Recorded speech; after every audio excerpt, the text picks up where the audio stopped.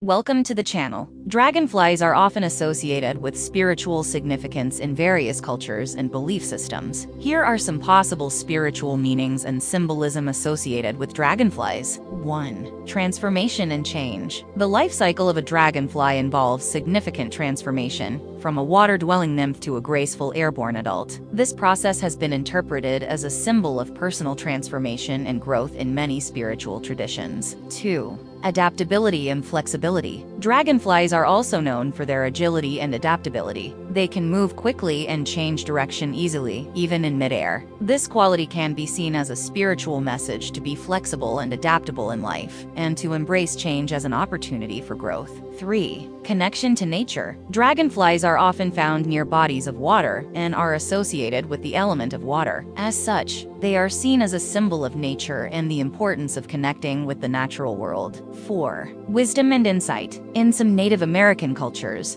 Dragonflies are seen as a symbol of wisdom and insight. They are believed to carry messages from the spiritual realm and are associated with spiritual guides and messengers. 5. Illusion and deception. In some traditions, dragonflies are seen as a symbol of illusion and deception. This may be because of their ability to move quickly and change direction making it difficult to catch them or predict their movements. Overall, the significance of dragonflies in spirituality may vary depending on the specific culture and belief system. However, many people see them as a symbol of transformation, adaptability, connection to nature, and spiritual insight. Hope you liked our content, and thank you for watching. Like, share, comment, and subscribe to our channel for more updates. Hit the notification bell.